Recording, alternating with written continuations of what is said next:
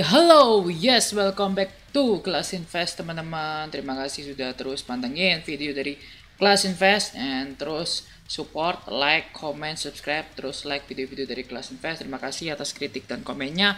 Sangat membangun sekali di dunia cryptocurrency terutama. And now saya akan membahas tentang Zilliqa ya. Ini sekarang sudah turun parah semenjak ATH-nya sekitar 80% ya.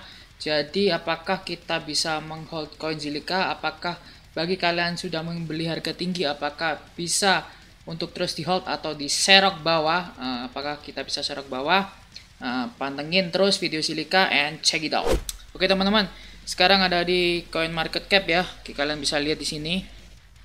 Kalau grafiknya sepertinya sudah menduplikasi apa yang ada kalian lihat di grafik di sini ya teman-teman ya.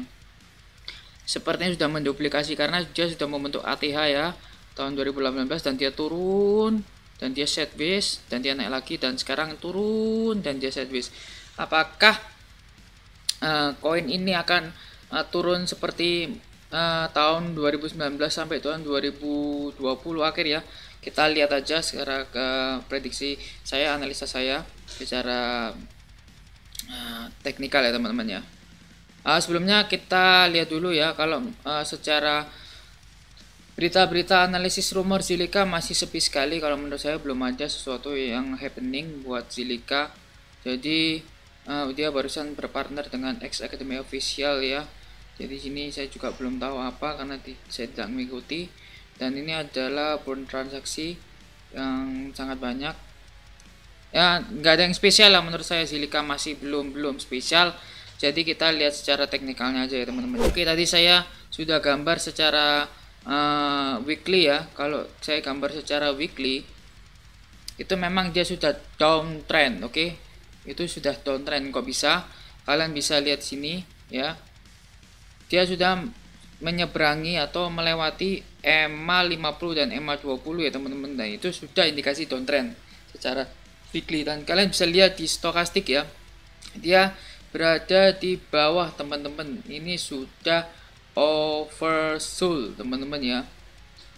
Jadi di bawah kita menunggu harga ini keluar dari area uh, oversoldnya ya di di nomor 20 kalau dia menyilang dan di garis biru di area biru ini kemungkinan dia akan uh, sedikit naik harganya teman-teman. Jadi itu weekly. Kalau saya lihat uh, secara weekly ini udah saya gambarkan beberapa resisten di sini dan ini support ya. Dan dia sekarang di weekly sudah tertahan di area support. Jadi menurut saya dia jangan sampai terus tembus di support ini ya teman-teman ya. Di support 0,06 ini teman-teman. Ketika dia tembus lagi ke 0,06 dia akan menuju ke harga selanjutnya. Kita coba dengan Fibonacci ya. Oke dia sekarang sudah di 100% Fibonacci ya teman-teman di 0,06 usahakan ini tidak tembus di 0,06 ketika dia tembus di 0,06 kemungkinan dia akan uh, menuju di sini ya teman-teman ya.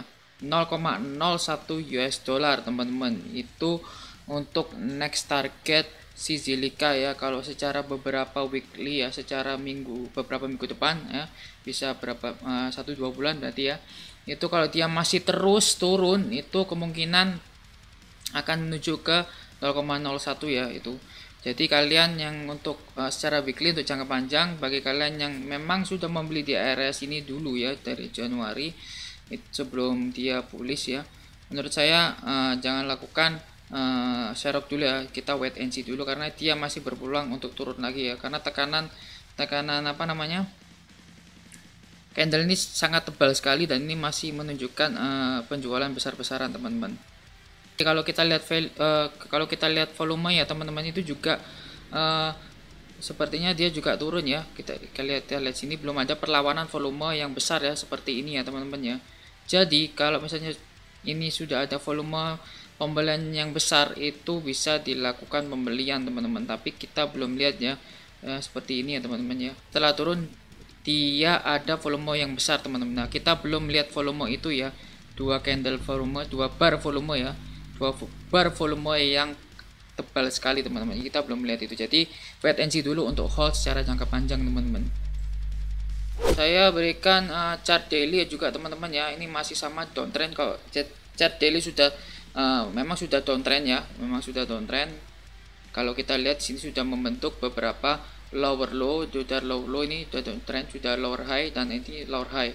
Nah permasalahannya di sini teman-teman secara daily ditambah dengan uh, pattern falling wedge ya teman-teman ya kalau bisa kalian gambar sini nah ini tergantung teman-teman. Kalau misalnya masih ada penurunan teman-teman ya ini bisa sangat turun lagi seperti weekly tadi ya teman-teman. Karena memang support terjaga di masih di 0,006 ya teman-teman ya ini masih supportnya masih ini. Ya ini beberapa pantulan.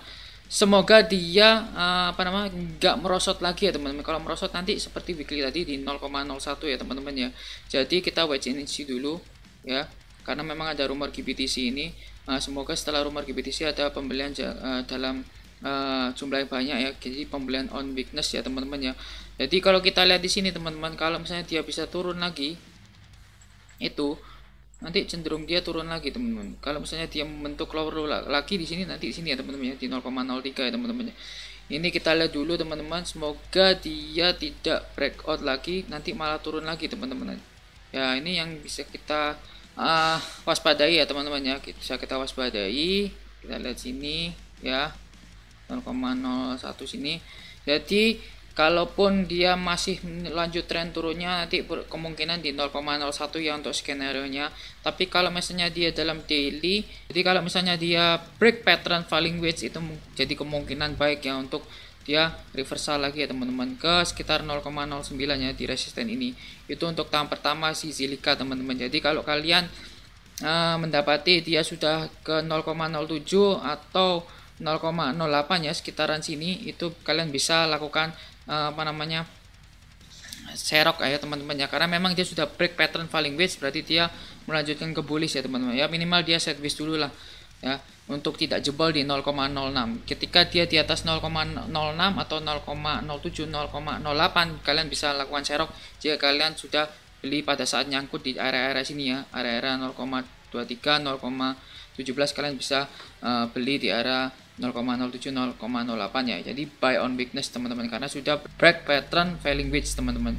Tapi kalau kalian lihat ini jebol ke bawah makin jebol jadi jangan kalian serok dulu. Tunggu harga mantul di buy on weaknessnya teman-teman. Nah, untuk silika kalian hold dulu uh, kalian wait and see dulu. Jangan keburu-buru untuk uh, apa namanya serok bawah karena masih berpulang untuk turun lagi. Itu masih besar teman-teman. Jadi keep hold keep cuan keep it fast